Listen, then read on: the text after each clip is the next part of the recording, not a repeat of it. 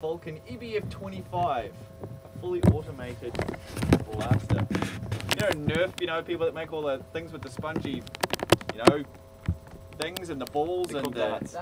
darts. Yes, we're not doing it, we're not doing it justice at all at this stage. You- Okay. You know your little Nerf guns with the, The the, Nerf foam guns, yeah, darts sure. that um, we, we've fired on occasion at each other. Yeah. This is like taking it to.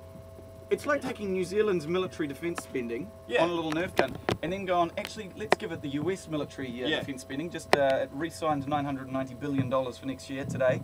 Yep. Uh, and then paint it bright orange. and paint it bright orange and turn it out in the form of a fully automated Nerf gun. Yeah. And it's huge. It that, is. that thing's about what a meter long. It's quite heavy. Uh, we've got official Nerf spokesman Karini here, so uh, give us a Why we rundown. Talking to you? Well, Yeah. you know, because I'm the gadget guy and I wanted to be part of All it. right. Okay. We'll So step back. yeah. You know, Can I I look at kind of found I think it's quite fun to play with. Um, it's the Nerf blaster. It's the biggest Nerf blaster that they've ever done. Um, I took it home last night, and all the guys in the flat, not kids, it's aimed at kids, uh, basically took it off me and It's- went yep. rainbow with it. So here we go. Let's shoot someone. That's uh, yeah, not me, Danny. Actually, Danny, can you just stand over there? What sort of range has this bad boy got? Oh, yeah, We'll, come we'll soon find out. I've got it on the tripod here, so you can Ever either seen a do.